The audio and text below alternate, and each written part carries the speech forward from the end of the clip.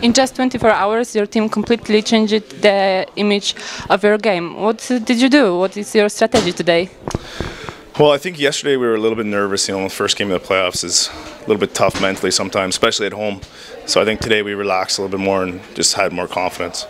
In the first uh, period, uh, this match it uh, wasn't um, easy because uh, players from Unia provoked provoked you. Yeah, well, actually, the whole game was kind of like that. I mean, it was a very, very rough game. Bodies flying everywhere, and uh, but we were pretty disciplined, I think, and you know the outcome was great. You played in the USA and Canada. So, what is your opinion about the referee in Poland? Honestly, I think the refs are actually pretty good.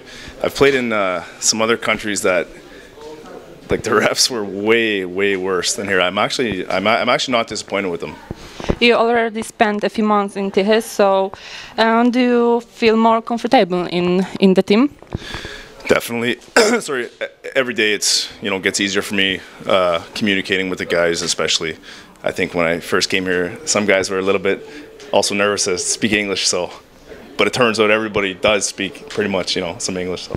Uh, fans in the USA and Canada uh, don't react to events in the on the ice rink uh, uh, so vigorous as they do in Poland, don't you think? Uh, well, our fans are great. Obviously, uh, they're intense. You know, they're paying attention, and they seem to be pretty knowledgeable about the game. You know, if, if you make a good play on the penalty kill or something, guys are cheering, girls are cheering. So, yeah, I think the fans are pretty good. What do you think GKS Tychy can win a national championship it's this season? Uh, definitely. I, I've been telling everybody we're going to win. You know, two months ago I was telling everybody that we're going to win. So I definitely think we, we will.